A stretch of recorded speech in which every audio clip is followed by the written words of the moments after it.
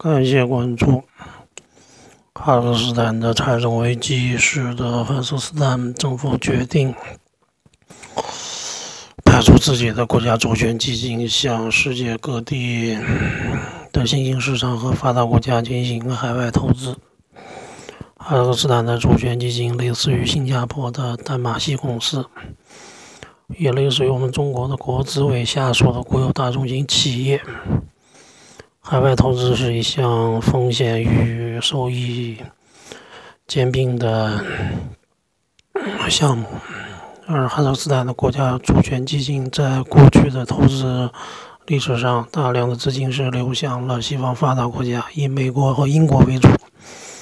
包括哈萨克斯坦首任总统纳扎尔巴耶夫的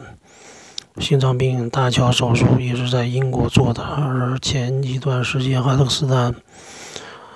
纳扎尔巴耶夫总统的外孙子也在哈萨克斯坦